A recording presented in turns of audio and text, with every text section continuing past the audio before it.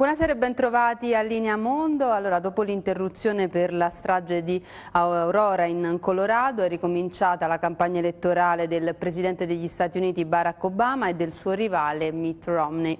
E oggi il nostro focus sarà proprio sulla campagna elettorale americana, cercheremo di capire quali eh, i temi, come si sta svolgendo, chi sono i protagonisti e lo faremo con eh, Filippo Sensi, vice direttore del quotidiano Europa. Buonasera. Buonasera e poi autore del blog NomFu. NomFup, sì, è un nome un po'... Che segna acronimo, acronimo, è un acronimo di... per... non è proprio il mio problema, diciamo così, è un po', un po più breve ma possiamo sintetizzarlo così.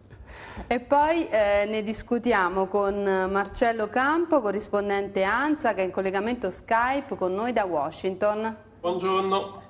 Buongiorno. Allora, eh, quindi entriamo subito nel vivo di questa, di questa discussione e cerchiamo di capire finora eh, come si è svolta questa campagna elettorale. La campagna elettorale è arroventata, molto velenosa e come, com, e come si dice ogni volta forse la più velenosa di sempre, con una pausa legata alla strage che, c'è stata ad Aurora in Colorado che ovviamente ha sospeso non solo le operazioni di campagna elettorale, ma un po' di questa narrativa così astiosa, così eh, virulenta per qualche giorno, avviando tra l'altro il dibattito sulla questione delle armi facili da cui probabilmente poi non se, ne, non se, ne, caverà granché, nonostante ci siano state anche questa volta importanti prese di posizione perché finalmente ci si dia una regolata sulla possibilità e la facilità di accesso alla, alle armi da fuoco. Però di fatto, a parte questo uh, dolorosissimo slargo, la campagna elettorale prima e dopo è stata una campagna elettorale ed è una campagna elettorale senza esclusione di colpi, grazie anche al ruolo che stanno stanno svolgendo questi famigerati super PAC, cioè questi colossi gonfi di denaro che investono milioni e milioni di dollari in uh, spot, iniziative di campagna varie, televisive, eh, sul web e che stanno pesantemente condizionando la grammatica e la narrativa della campagna elettorale. Allora, eh, volevo tornare solo un secondo e chiedere ehm, sulla, sulla, strage di Aurora, ma più che altro per il discorso delle, eh, delle armi, per chiedere a Marcello Campo, eh, Romney è stato subito chiaro non, che non, insomma, il discorso sulle armi, eh, le leggi che ci sono va bene così, insomma. Invece eh, Obama come l'ha gestita questa situazione? Allora, Obama è in grossa difficoltà, nel senso che a caldo ehm, Stiamo parlando di una strage che è accaduta in Colorado, che è uno dei nove swing state, cioè uno dei, degli stati che poi decidono il risultato finale. Allora, perché è in difficoltà Obama? Perché eh, una larga parte del suo elettorato eh, chiede con forza delle leggi di controllo delle armi, ma eh, lui deve cercare di vincere in questi stati, in questi stati dove invece la lobby delle armi soprattutto gestita da una grande associazione che è la NRA, NRA, cioè la National Rifle Association, la fa da padrona. Quindi lui inevi- inevitabilmente a caldo eh, cinque giorni non ha potuto dire nulla, non ha mai associato la strage all'eccessiva diffusione delle armi. Ed è stato in difficoltà perché invece il sindaco di New York, Bloomberg, da subito a caldo, dopo due ore, il giorno dopo ha detto Romney e Obama si mettano intorno a un tavolo e discutano di questa piaga tutta americana. Lui è stato cinque giorni in silenzio, addirittura il portavoce Jay Carney a caldo ha detto non se ne parla, non, non è oggi, non, non, vogliamo parlare di legge sulle armi dopo cinque giorni ha in maniera molto molto tenue, come diceva giustamente Filippo, in modo che non potrà nulla dal punto di vista legislativo, detto le armi dovrebbero andare in mano ai, all'esercito, non in mano ai criminali. Però, ripeto, Filippo ha centrato in pieno, non ci sarà nessuna riforma delle armi, eh, nessuna riforma del controllo del possesso delle armi, eh, c'è stata una sospensione più che altro emotiva, ma non, non cambierà nulla. E, e non verrà influenzata la campagna elettorale? No, nel senso che verrà influenzata nella misura in cui eh, cioè in Colorado c'è da gestire questo, questa, diciamo, questa particolare questa partita. Part... Io sono stato lì a Denver eh, lì la percezione è completamente diversa. Mentre noi eh, vediamo una, un nesso immediato, perché poi c'è, tra la diffusione delle armi e questo tipo di gravissimi incidenti, lì eh, la penso in maniera opposta. Lì molta gente dice se ci fossero state più armi, se qualcuno dentro il cinema fosse stato armato, forse avrebbe potuto evitare la strage, aver ammazzato prima il, il, il killer. Ma è una logica da Far West che noi europei non capiamo, ma è la loro logica. Sì. Se posso dire impressionante, non so quanto questo corrisponda al vero, però eh, qualche, qualche, ora dopo eh, era venuto, è venuto il dato secondo il quale la vendita delle armi proprio esplosa. Di, era esplosa addirittura. Esplosa, proprio, continua a esplodere. Questo, questo, per dire come cambia la percezione, cioè vista da noi questa è una evidente sanzione di questo regime eh, folle di accesso alle armi da fuoco, vista dal Colorado, quindi dal, da lì dentro è esattamente l'opposto, cioè se fossimo stati, come diceva giustamente Campo, se fossimo stati armati fino ai denti, magari qualcuno avrebbe potuto sparare immediatamente allo shooter del cinema esatto. di, di, di, Aurora e quindi ci vogliono più armi. Questo per dire come... allora, volte... scusa ti interrompo, cioè... all'afforzamento di quello che dici tu, ci sono due elementi che ho sentito dire lì a, a, a Denver che mi impressionavano. Uno, queste cose accadono in tutto il mondo, che non è assolutamente vero, e portavano a giustificazione di questa di questa cosa il fatto che proprio in quei giorni era un anno dopo la strage di Utoia e dicevano anche lì quello lì è andato con un'arma da guerra è andato a far fuori non mi ricordo ma insomma centin- 70 non mi ricordo Tanto, ragazzi. tanti giovani. Sì. tantissimi giovani quindi è come da noi. Eppure in Norvegia hanno una legge super restrittiva sul controllo delle armi non capendo che lì non è una cosa random, non è una sparatoria di un pazzo, cioè è ovviamente un pazzo, ma era un suprematista bianco filo nazista che andava a sparare a giovani socialdemocratici, quindi non era.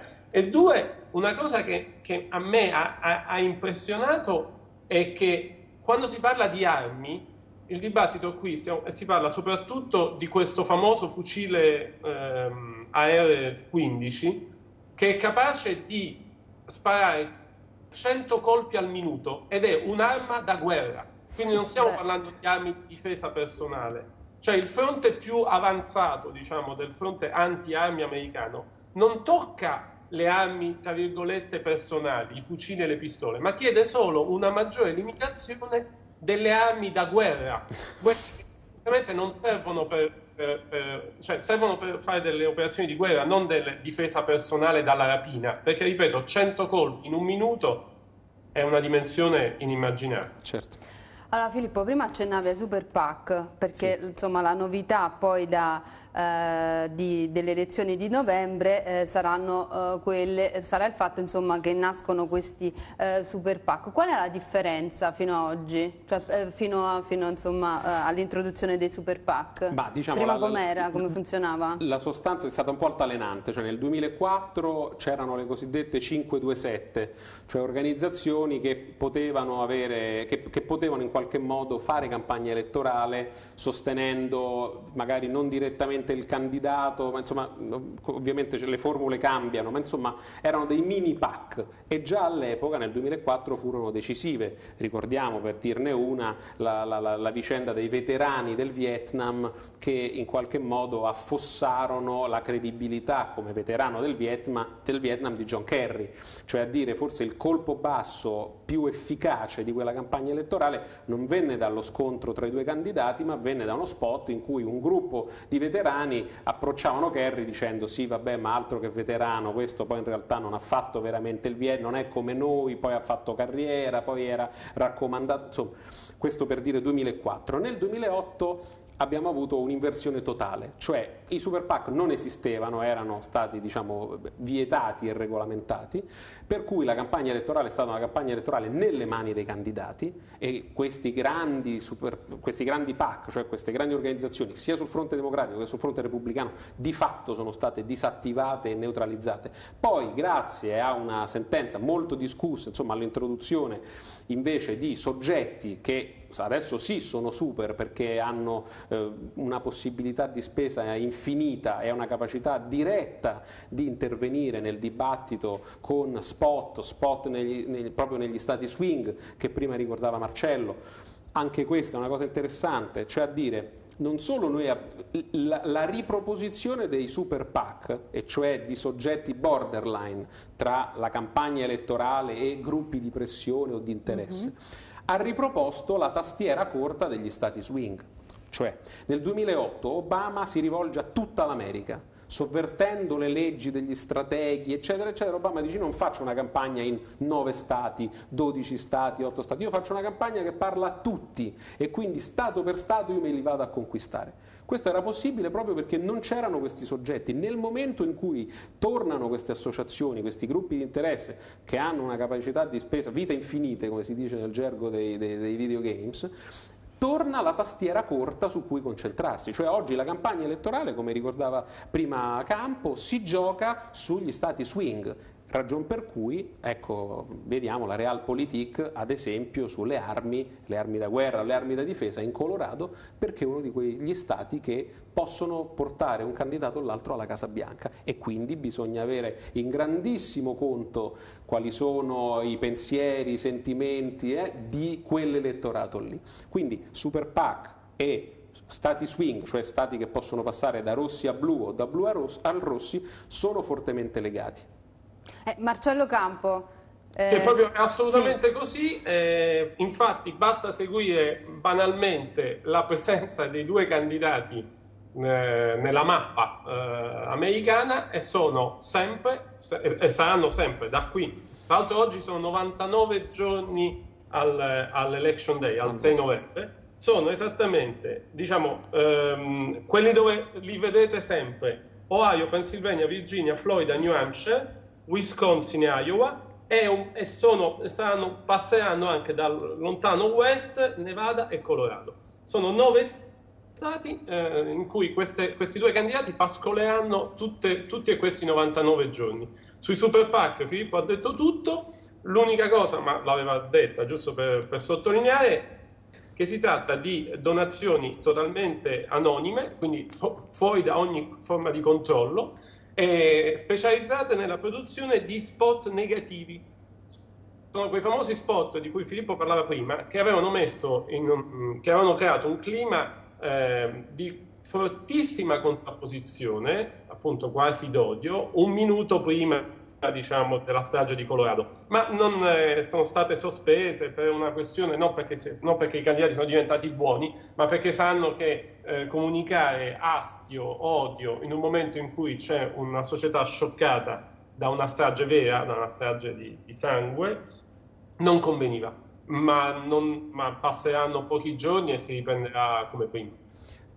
Tant'è, sì. tant'è, che su questo appunto la sospensione degli spot era limitata a quegli stati lì no? cioè non, non, era in, in assoluto Furevic, no, era vabbè, per qualche giorno in quegli stati lì. E anche lì, come giustamente notava Marcello, per un calcolo, cioè a dire non sospendiamo gli spot in segno di rispetto, questa è la vulgata istituzionale, li sospendiamo perché la paura è che possano fare il, il cosiddetto backfire, cioè che possa esserci un contraccolpo, e cioè se io continuo a fare spot negativi nei giorni del lutto e del dolore, forse qualcuno, i grandi media, ma anche come dire, il, il il corpaccione degli elettori potrebbe non gradire questa, questa Sarebbe un autogol. Esattamente. Questa e nella migliore delle ipotesi so, sono soldi buttati. E siccome questa campagna, ma non solo questa, tutte le campagne... Pronto? Ci siete? Sì, sì. sì. Tutte le campagne americane, c'è appunto il principio che Filippo conosce meglio di me, follow the money, ogni dollaro buttato è un dollaro regalato all'avversario. Allora, eh, parliamo dell'altro grande attore delle elezioni americane, vale a dire i media, eh, perché appunto sia nuovi che vecchi media si, si sono contesi eh, la copertura mediatica di queste eh, elezioni. Ne arriva un'applicazione proprio per esprimere eh, preferenze e opinioni. Sì, ov ovviamente il, il, la televisione eh, nonostante la nostra eh, speranza e così l'annuncio reiterato vabbè questa volta è la volta decisiva che conterà di più la rete, conterà più internet, la televisione, va ancora la televisione la televisione sarà sì. ancora una volta eh, il medium attraverso il quale leggere le mosse dei candidati o attraverso il quale scrutare le polemiche che molto spesso poi invece nascono in rete, eh, si consumano sui social network, rimbalzano e, e anche di, di, di, ritorno sui media. Però insomma io non, non, mi nascondo, penso ancora una volta che le elezioni 2012 per la Casa Bianca si giocheranno eh, oltre che sui soldi ovviamente e negli stati swing si giocheranno nel perimetro della, della, televisione. Questo però non vuol dire che, come sempre, eh, come ogni quattro anni abbiamo una macchina eh, straordinaria che riguarda la rete e che cresce di, di, di, di, elezione in elezione. Cioè se il 2004 fu un, un primo timido assaggio, se il 2008 fu eh, l'occasione per la presidenza eh, di Internet, no? la vittoria di Obama in qualche modo è stata legata anche con una certa enfasi e forse con una grande approssimazione anche da parte nostra alla sua presenza sui social network, all'epoca era Facebook, sicuramente quest'anno raggiunge la sua piena maturità uno strumento come quello di Twitter eh, che in campagna elettorale diventa determinante, decisivo e già abbiamo visto un sacco di episodi. Però questo per dire, TV, molta TV, continuerà a essere centrale, la rete cresce, e soprattutto la campagna sarà comunque una campagna sempre più digitale perché gli spot che produci per la rete poi sono quelli che alcuni di questi vengono scelti per andare in tv, perché il grosso della campagna fisica del quartier generale di Obama è sul, sul, sull'outreach, come si dice, sul, sulla la, parte digitale. E per Romney è un po' diverso, è un po' meno, però a dire oggi il, il, grosso degli sforzi della campagna elettorale di un candidato si concentra sui dati da immagazzinare, su spot, video, multimedia da, da, da utilizzare soprattutto in funzione, come diceva prima Marcello, negativa, c'era una volta l'opposition research, cioè una volta c'era uno stanzino nella campagna elettorale americana in cui c'erano 4-5 persone che andavano a cercare cose contro il candidato. Erano un po' una specie, una specie di sancta sanctorum, quelli del lavoro sporco.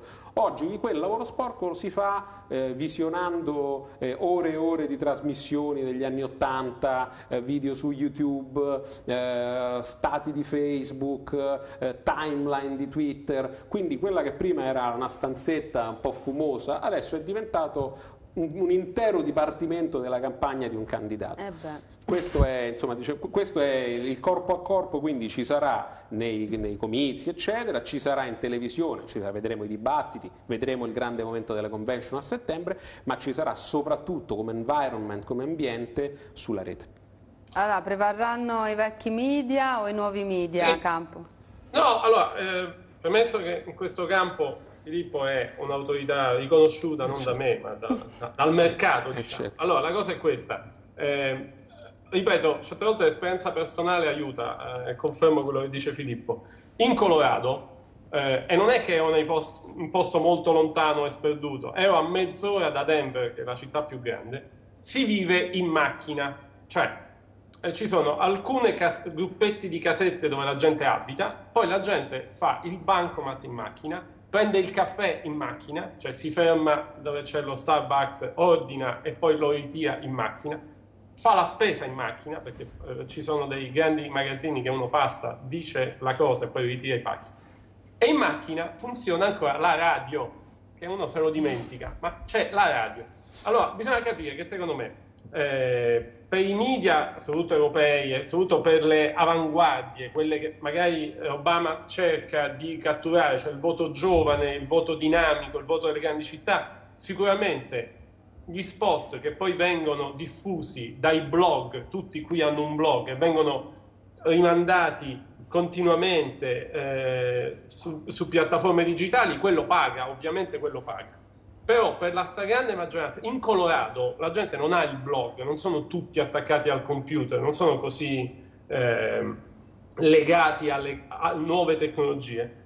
Va lo spot serale classico, quello che costa un sacco di soldi sulle televisioni locali, e va anche lo spot radiofonico o i grandi eh, radioconduttori, eh, ce ne sono alcuni come Rush Limbo che poi fatto, eh, è, è, ancora uno che produce, un opinion maker che produce fatti importanti, ultra conservatori, la gente segue queste persone. Quindi secondo me bisogna capire che ci sono tante Americhe, questa è una cosa banale ma non bisogna mai dimenticarselo, ci sono quello delle, delle, delle due coste che è quello che conosciamo meglio, che fa dire appunto al sindaco di New York perché il sindaco di New York basta con le armi, bisogna controllarci, in, in, in, eh, lo stesso in, nella West Coast, in California, ma poi c'è in mezzo tantissime aree, direi quasi rurali, cioè molto, molto isolate, dove ancora televisione televisione e addirittura secondo me anche radio, e radio. pagano.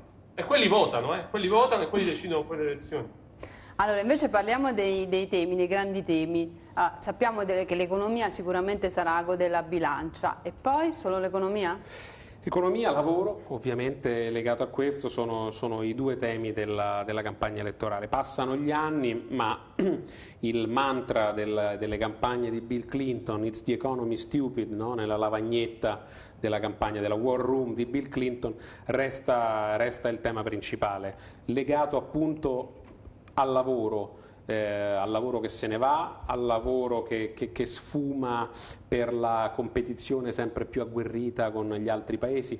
Mi veniva fatto di pensare a questo proposito. Ogni tanto ci si lamenta e si dice, beh però eh, questa campagna elettorale, la, la, dimensione internazionale, la dimensione degli affari esteri, eccetera, non è quasi presente, cioè una campagna elettorale eh, tutta concentrata all'interno. Poi in realtà vai a vedere i famosi spot negativi o la retorica usata negli stamp speech, cioè nei discorsi che eh, tappa per tappa sono sempre gli stessi, cambia il saluto e l'aneddoto locale, ma per il resto è quello che il candidato fa eh, a memoria. Eh, stai a vedere che in realtà la proiezione internazionale c'è, ma è vista come una minaccia e non è più la minaccia da guerra fredda o la minaccia della, del, della guerra to court, no? pensiamo nel 2004 alla questione dell'Iraq come fu presente nella campagna elettorale, già nel 2008 questa scolorò completamente, questa volta apparentemente non c'è, diceva vabbè ma parlano di cose, della visione del mondo che hanno i candidati, no, però presente, martellante, tambureggiante nei loro duelli, c'è l'idea che eh, i posti di lavoro se ne vanno in Cina, eh, Romney è quello che ha il conto in Svizzera e quindi la Svizzera è visto come un posto come dire, esotico ed esoterico, Dice, perché questo c'è il conto? Mentre voi avete i conti e fate fatica a arrivare a fine mese, invece arriva questo super riccone che c'è il conto in Svizzera, oppure la sua, la, la, sempre per parlare di Romney, eh, il suo ruolo in questa, nella Bain, quindi un ruolo in multinazionali dal sapore europeo, uh-huh. oppure i posti di lavoro lavoro che quando lui era governatore aveva fatto migrare in Cina, cioè a dire la dimensione eh, internazionale, la dimensione del mondo fuori dall'America c'è, però non è più come dire, siamo noi lo sceriffo del mondo e dominiamo dal, dall'altopiano la vallata, ma è una minaccia, una minaccia a, a, a noi, a we the people, che siamo sempre più poveri, che perdiamo i posti di lavoro, che vanno chissà altrove, che svaporano e vanno in Cina, magari vanno in India, eh, l'Europa vista come una sorta di bomba innescata che potrebbe esplodere e ancora una volta eh, farci pagare a noi i, suoi conti. Quindi anche in questo no, eh, leggere l'attenzione di Obama per quello che succede in Europa, in Italia, anche la disponibilità nei confronti del premier italiano, eccetera. Va sempre vista come per dire cerchiamo di tenere questa cosa sotto controllo e sotto osservazione, caro elettore, perché questa roba poi se esplode saremo noi a pagarla. Quindi essere evocati, evocati in maniera negativa. Evocati come una paura, come una minaccia, come un'inquietudine, ecco, e non come un'opportunità, come fra le alleanze saremo... Insomma, nel 2008, se vogliamo, una retorica di Obama era sarò io a unire il paese e sarò io a unire un paese diviso anche dal, punto, dal, punto, di vista del rapporto con il mondo perché Bush ha stramato questo tessuto con la guerra in Iraq eccetera. Ci vuole una figura che unifichi e che quindi recuperi, riannodi un dialogo con il resto del mondo. Tutto questo adesso è in ultima fila, però il mondo si riaffaccia negli spot o nei discorsi dei candidati e si riaffaccia con questo connotato. Allora, proprio in questi giorni Romney ha iniziato il suo eh, tour tra Europa e Israele eh, con l'ambizione forse di aumentare le sue eh, credenziali, vediamo. Mitt Romney strizza l'occhio all'elettorato ebraico in vista delle presidenziali americane del 6 novembre. Il candidato conservatore statunitense ha proseguito il suo tour estero con una tappa in Israele. Dopo una visita al muro del pianto ha incontrato il premier Benjamin Netanyahu e ha colto l'occasione per prendere una posizione di polso contro l'Iran e il suo programma nucleare. Thank you. Speriamo che bastino le misure diplomatiche ed economiche, ma alla fine nessun mezzo dovrà essere escluso. Riconosciamo il diritto di Israele di difendersi, ma anche quello dell'America di appoggiarlo. Un assistente di Romney era stato più diretto dicendo che il candidato repubblicano sarebbe pronto a intervenire militarmente accanto a Israele come ultima opzione. Allora, in questo servizio abbiamo visto principalmente Israele, però appunto eh, c'è stata anche qualche gaff, solita, una delle solite gaff insomma, eh, a Londra di, eh, di, Romney e quindi eh, rimanendo eh, diciamo su ehm, Marcello Campo? Sì. Eh, rimanendo invece su questo viaggio che è stato eh, diciamo, presentato sui giornali almeno con eh, l'idea di eh, aumentare, le, migliorare insomma, la, sua, eh, la, sua, posizione internazionale, è così? Può essere così o è solo una eh, proposta dei giornali? No, no, è, cioè, è così nel senso che quello è il tentativo, poi se, se Romney ci riuscirà ad accreditarsi come leader mondiale, globale, poi è tutto da vedere. Eh, eh, Filippo aveva pienamente ragione, ehm, è, è, impressionante, cioè se noi diamo uno sguardo a questa amministrazione, l'amministrazione Obama, ehm, l'amministrazione Obama ha puntato all'inizio a una vera, come dire, ehm, eh, rilancio di leadership eh, su basi però culturali, una mission americana eh, dopo i gravi traumi provocati da, da Bush figlio. Eh, ricordiamo il discorso sull'Islam, ricordiamo ehm, anche proprio eh, le, le, le, materialmente lui ha chiuso una, una, guerra e mezza, cioè ha riproposto gli Stati Uniti una, eh, con una visione di maggiore apertura. Non è riuscito a chiudere Guantanamo, però eh, ha, ha posto le basi per una eh, una maggiore, eh, una, per rifare uno restyling dell'immagine dell'America nel mondo ed è stato completamente risucchiato dai temi economici e quindi di fatto non si parla più di politica estera se non, come diceva Filippo, in termini di minaccia. Dobbiamo stare attenti che i cinesi hanno in mano il nostro debito pubblico, dobbiamo stare attenti a creare lavoro qui, della, nostra middle class e non delocalizzare. Quindi l'estero è visto, il mondo è visto come un luogo di paura, attenzione alla, alla, all'euro, ci potrebbe portare al disastro. E su questo Romney sta facendo una campagna elettorale. Romney più volte ha detto eh, la, cioè, più, eh, la, il tentativo è di, di, di, di, raffigurare Obama come non americano, non sufficientemente americano, come una persona interessata a cose lontane appunto da quegli elettori del, della, della Bible Belt, della, della cintura della Bibbia, una persona strana, non è bianco, non è nero, è elegante, è glamour, la moglie mi chiede sempre, la first lady chiede sempre di mangiare magro, a me invece piacciono le, gli hamburger.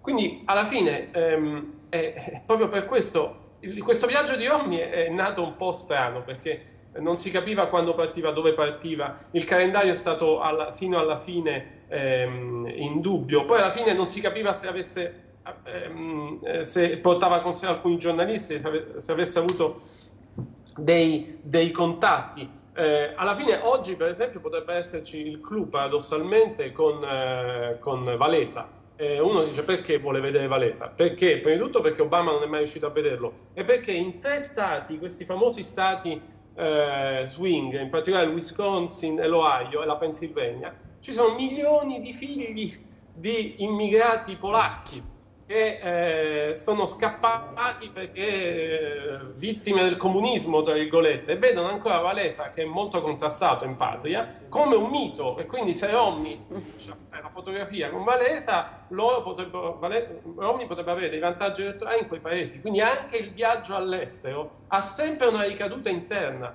Non è... Eh, come dire, non è il tentativo di un leader di presentare la sua America, ma è tutto con ricadute prettamente di politica allora, eh, siamo in chiusura, una velocissima battuta eh, sull'elettorato, nel senso come è cambiato, se è cambiato a distanza di quattro anni, quindi eh, Chi deve convincere Obama, chi deve convincere Romney? Mi rendo conto che la domanda è abbastanza... No, telegrafico, telegrafico. Nel 2008 Obama, parliamo del presidente, allora candidato, si rivolge all'America. Sono io una speranza di futuro, sono io il cambiamento. Quindi non c'è bisogno di segmentare l'elettorato. Oggi, quattro anni dopo, è esattamente l'opposto e Obama si rivolge alle categorie, il voto gay, il voto dei latinos, il voto delle, delle donne, il voto... cioè a dire gli elettori sono sempre gli stessi, però le strategie per arrivare a questi elettori cambiano molto a seconda dei soldi, delle tecnologie a disposizione e soprattutto del ciclo elettorale. Ah, non so se Marcello Campo sì. vuole aggiungere qualcosa. Sì, sì, no, totalmente Telegrafico? Sì. Telegrafico, eh, Obama punta più, tra virgolette, sui diritti civili, quindi ha, ha, fatto una mini sanatoria per i latinos, ha fatto un'apertura sul matrimonio gay per i, per i gay, eh, matrimonio del stesso sesso, uno sconto delle tasse eh, universitarie per i giovani e spera di, ag, eh, di ag, aggregare questi tre elettorati. Eh, Romney punta sull'elettorato bianco, ceto medio, eh, stanco di non trovare lavoro, gli small businessmen, i piccoli imprenditori. Eh, chi vincerà non si sa. Allora. È molto difficile dirlo oggi. Allora, eh, il nostro tempo a disposizione quindi è terminato. Io ringrazio Filippo Sensi e Marcello Campo. Eh, vi ricordo alle 18 l'appuntamento con la trasmissione Agenda Italia e con Linea Mondo l'appuntamento è a settembre, quindi eh, continueremo a parlare di temi internazionali, continueremo a seguire eh, la campagna elettorale e arrivederci quindi a settembre.